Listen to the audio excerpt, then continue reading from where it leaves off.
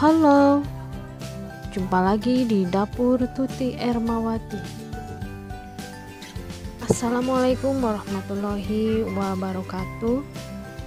Selamat sore sobat youtuber di mana pun anda berada, semoga dalam keadaan sehat selalu ya dan senantiasa bahagia selalu.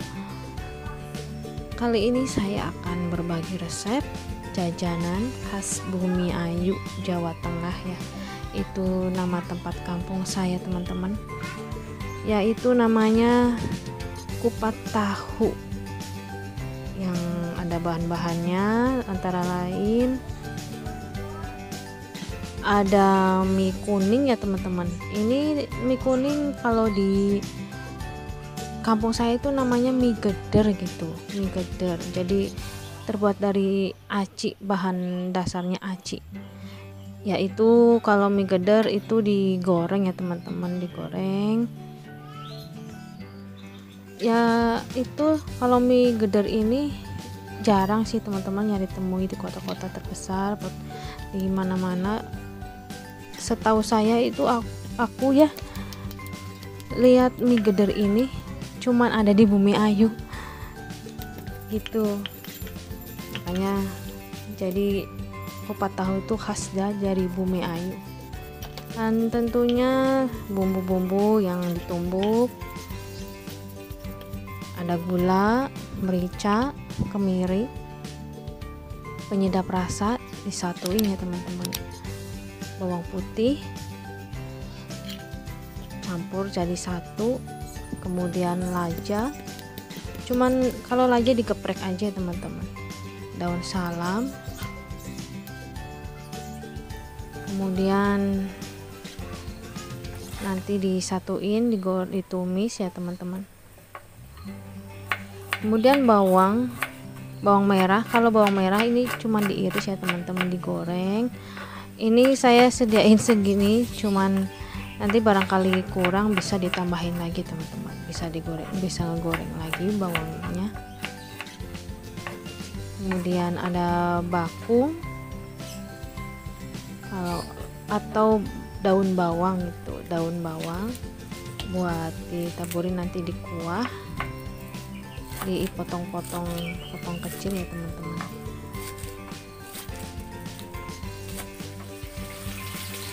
Kemudian kita siapin air rebusan buat ngerebus toge. Dikasih garam sedikit ya teman-teman air yang buat eh, itu tip ya teman-teman tip tips uh, buat ngerebus toge dikasih garam sedikit di airnya agar si toge itu awet awet teman-teman. Kalau misalkan rebusnya jam pagi gitu sampai maghrib sampai jam 6 tuh masih nggak basi.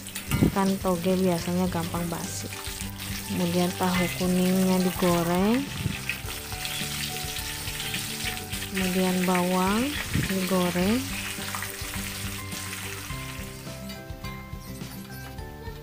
Jangan terlalu gosong ya teman-teman harus sering diaduk-aduk kalau ngegoreng bawang. Takutnya gosong.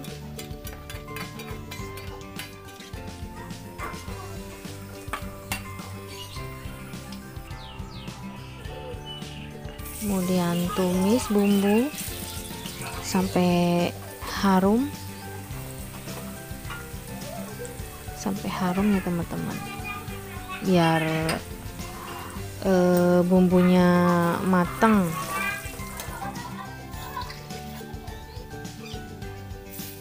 kemudian kasih air sekitar 2 gelas ya teman-teman. 2 gelas tunggu sampai mendidih tunggu sampai air mendidih kemudian angkat. Terus kita sebelumnya sudah siapin air di panci teman-teman. Udah direbus air buat persiapan buat bikin kuah. Kemudian yang tadi bumbu sudah ditumis dikasih air 2 gelas campurin jadi satu sama air mendidih yang di panci teman-teman. Sebelumnya teman-teman harus mencoba menyiapin dulu air supaya masaknya cepet. Kemudian taburin masako yang satu satu sasetnya tuh biasanya harga 500 ya teman-teman. Kemudian kecap.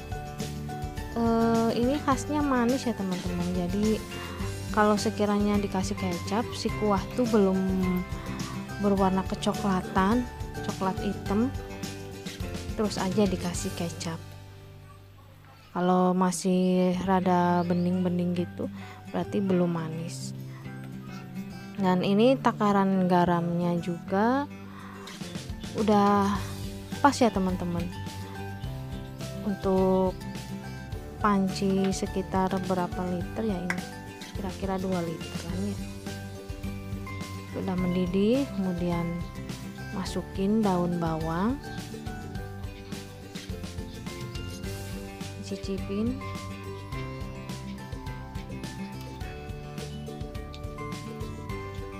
cicipin. Sampai mendidih banget ya teman-teman. Biar si bumbunya tuh menyerap sama kuah. Oh iya berarti ini uh, si kuah tuh masakonya tadi kan udah satu bungkus ya teman-teman. Jadi ditambahin lagi kira-kira. Jadi totalnya masako satu setengah bungkus harga gope ya teman-teman. Harga 500 dah sedap teman-teman. Kita tutup dulu. Kita racik bahan-bahan yang nanti buat di mangkok. Itu sayur engkol. Sayur engkol diiris tipis ya teman-teman ini sayur engkol yang bikin bikin itu kupat tahu tuh sedap ini. Bikin sedap. Ini kerupuknya kerupuk mie kuning yang terbuat dari aci teman-teman. Mie kuning aci. Kalau di tempat saya itu mie geder ya teman-teman. Digoreng kemudian ada bawang goreng daun toge daun lupa maaf uh, toge sudah direbus tahu udah digoreng. Nanti tahu kalau mau dimasukin di mangkok diiris-iris dulu ya teman-teman. Ini sambal udah direbus tapi saya kasih digoreng sebentar ya teman-teman. Biar sedap sambalnya. Kemudian kuah sudah siap saji. Oke teman-teman kita siapin ini ada kupatnya yang dibungkus daun. Saya sukanya kalau ini kupat yang dibungkus daun ya teman-teman. Ada bawang goreng ah inilah kupat tahu ala uang bumi ayu khas di bumi ayu saya merantau di Bogor di Bandung yang sudah saya singgahin tempat-tempat belum ada kupat tahu seperti ini. Ini jajanan lumayan bisa buat buka usaha teman-teman. Barangkali teman-teman minat buka usaha dagang kupat tahu. Biasanya ini dimakannya pagi-pagi ya teman-teman buat sarapan. Sore juga cocok sih. Kesukaan Bang Ugi nih. Kupat tahu. Tahu masukin favorit banget ini jajanan saya teman-teman. Oh bumbu-bumbunya juga praktis ya teman-teman.